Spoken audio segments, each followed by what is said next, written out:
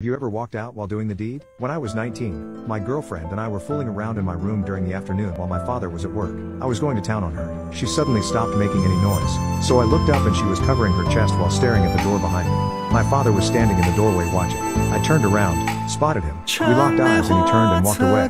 We never discussed the incident. A few years later, after much determination on my part to extract my revenge, I patiently waited for the perfect time to pay him back. Late one night, I returned home knowing that he was downstairs in the family room doing the deed on the couch. So I, like a ninja, entered the house and made my way downstairs into the laundry room, which was directly next to the family room. They had no idea I was there. The lights were off, the wrinkles were flapping, and I decided it was time to do some laundry. So I start by turning on the lights in the laundry room. Imagine being in your bedroom and someone turns on the hall light. About that level of illumination.